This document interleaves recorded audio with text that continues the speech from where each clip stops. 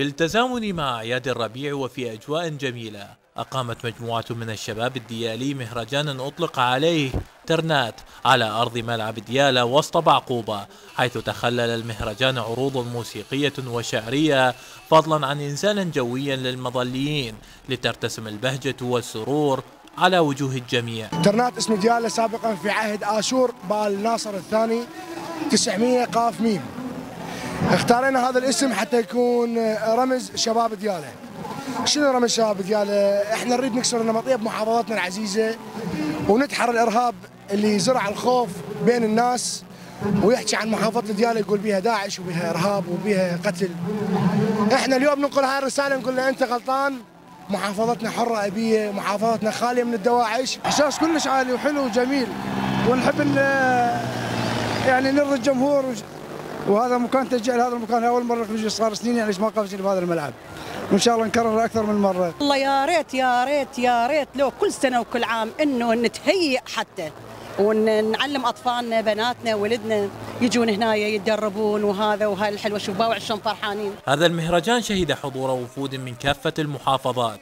ليعبروا عن سعادتهم بحسن الضيافة والاستقبال في ظل الأجواء الأمنية والاستقرار الملحوظ الذي أدى إلى إقامة مثل هكذا مهرجانات فيما أكد الحاضرون على استمتاعهم بالفقرات وتنوعها بالإضافة إلى الأعداد الكبيرة من الجماهير. من محافظة النجف طبعا إحنا الأخوة ما قصروا واستقبلونا أحسن استقبال.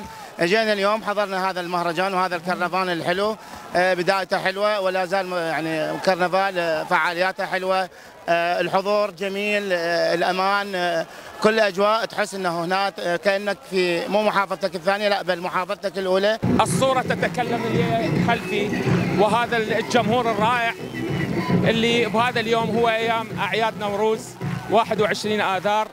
اللي المهرجان اللي نتمنى أن تكون كلها أيامنا أعياد وفرحة وسرور بجهود الخيرين وبجهود القوات الأمنية. مهرجانات آه، تدل بأن محافظة ديالى هي أمن وأمان.